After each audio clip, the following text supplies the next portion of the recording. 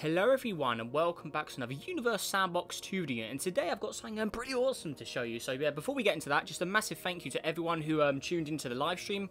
I did um, two days ago, it was a really good time, um, we got through loads and loads of subscriber systems, so um, yeah, make sure to go ahead and, and check that out if you want to um, see all of those subscriber systems. There's also some pretty awesome objects in there, I think we had pretty much 20 viewers for about the whole thing, which was pretty awesome, honestly. So yeah, just it was really good time just hanging out with you all. So yeah, maybe we can do more of those um, in the future as well. But yeah, also make sure to join my Discord server, link in the description as well. Forget all the latest updates, and also you can talk with me um, pretty regularly since I'm on there very, very often. So yeah, if you want to do that as well, and also that's also how you uh, send in your own systems for me to check out as well. Join my Discord, and that sort of unlocks the perk of being able to um, get systems in videos. So yeah, go ahead and uh, do that if you want to, or if you're interested in it, um, really. But yeah, that is all out the way now. So we are getting into today's stuff. So we're going to be starting off with this. So here is the current Venus that I use in my um, custom solar system right here. So it's a very, very reflective um, tinted atmosphere.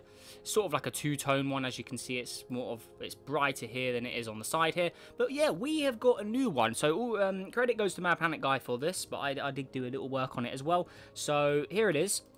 So I'm just going to pause it. and I'm going to place it here. So check this out. This one is like an enhanced cloud version. So as you can see, there is way more clouds visible on this one than that one here. So yeah, check this out. We'll just put, them next to each other there. So you can see that there's this new one here. Look how many more, way more clouds are on it. And it's just got like a special cloud texture underneath it to make it look different as well. But yeah, this is what it looks like underneath.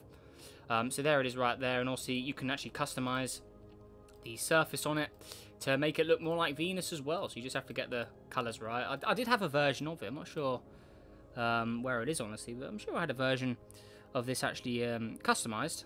I don't know where it's gone, but yeah, you can literally get it exactly like the current Venus here. So if I just get the colours right, do a quick bit of uh, messing around just as an example. Like if you uh, play around with this enough, you can actually get quite close to the Venus orange, as you see here. Like, pr pretty cool. So yeah, there we go. There's that. I'm not going to bother doing that, but you can you can literally get the colours identical almost. But yeah, look at that compared to that with that new sort of cloud texture on the surface here. Can, the clouds are way, way, way more visible, and I've also copied and pasted the atmosphere from this one onto this one as well, just to um, make it look really good as well. So it's very reflective, and the cloud texture, I think, looks really awesome. But that's not what this video is entirely for, this Venus. This Venus is just extra we are now going to move on to something I've not even seen yet, but I've got the simulation here, and it's called Mega Neptune. So, if we go in here, this is a brand new Neptune custom. So here we go. So yeah, all credit goes to Mad Planet Guy for this one. So it took him 13 hours of work combined, contains around 900 bands. So similar to that big Jupiter um, a couple of months ago. Now that was um, also over a thousand bands. But yeah, this is what he's got. So we just have to delete this object to see what is in there. And he's also got a custom Triton for us. Two variants of each by the looks of it. So let's go ahead and see what um, he has got for us here. I have not actually seen this yet, so you'll be getting my first reactions to this as well.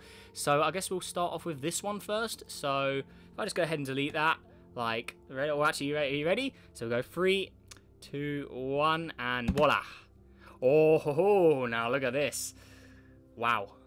That is looking very fine. Let's just drag it away to get away from that, but check that out. So it's like an enhanced version of the regular Neptune in the game, um, I believe. So here it is here, compared to the regular net stock Neptune in the game. So check that out.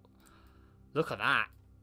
So that is looking very fine. I really like the way this looks, actually. Look at that. Wow. That is looking really good. So let's also see what has got underneath this one then. So shrink to reveal Ah, and he's got a enhanced version of it as well. That is awesome. Because, yeah, if you um, don't know, I do like the enhanced versions myself of um, to get slightly more blue, yeah, blue tint.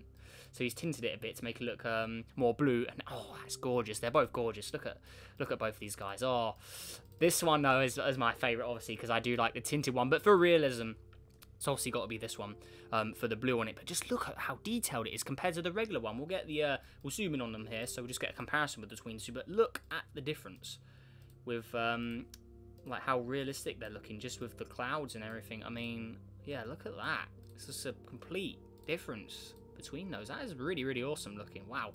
So yeah, there we go. New and then old or the regular version in the game. So yeah, there we go. Then we have the uh, tinted blue one. It's looking very, very fine indeed.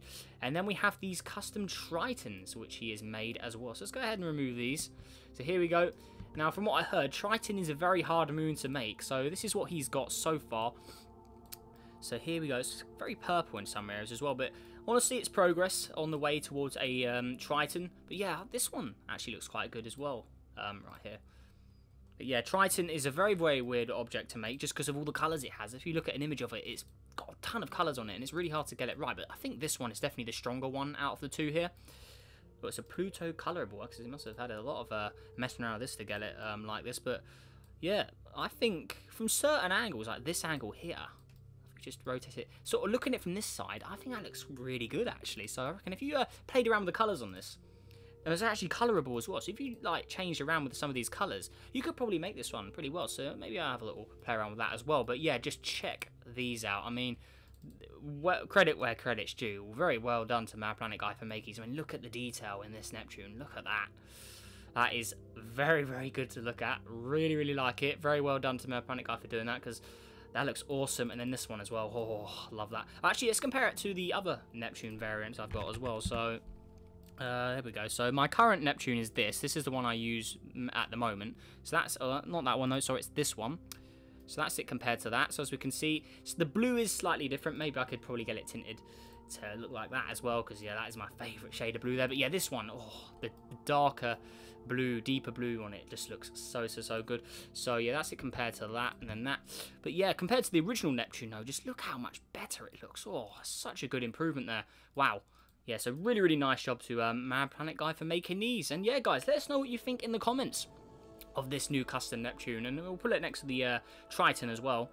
So here we go. So yeah, there we go. Let's just go ahead and drag the other one out of the way.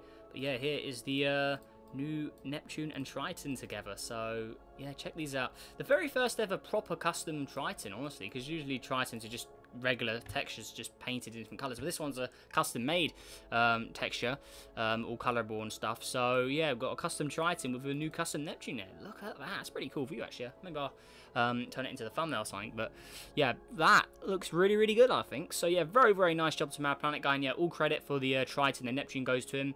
I take a little bit for the Venus since I did uh, mod the atmosphere on it. But yeah, mostly it's all his anyway. So yeah, it's all his work. So yeah, all credit to him for that. And also go ahead and subscribe to him and check him out as well. I believe he's uh, making a lot more videos now and he's revealed his voice and stuff. So um, yeah, pretty cool stuff indeed. But yeah, again, also a massive thanks to him for um, actually sending me these so I could um, check them out in a video as well, guys. But yeah, that is everything. So yeah, let us know what you think down below in the comments. Um, let us know any uh, criticism, constructive criticism if you've got any feedback would be um, pretty appreciated, I think. So, yeah, just let us know what you think of this new Mega Custom Neptune. So I think it's looking very, very fine indeed. I mean, especially compared to the original one there. I think this look, this is a very beautiful looking object, honestly. I think it looks really good, and obviously you put a lot of time into it. So, yeah, let us know what you think of it down below in the comments, guys. But, yeah, that is all. So, yeah, make sure to subscribe if new. Helps on the journey to 11,000 subscribers. And also join my Discord, like I said at the start of the video, if you want to keep up to date with stuff and send in systems for me to check out in videos. And, yeah, if you mod your own objects, maybe I could do them in a video like this someday if you join. So, um, yeah, that is everything, though.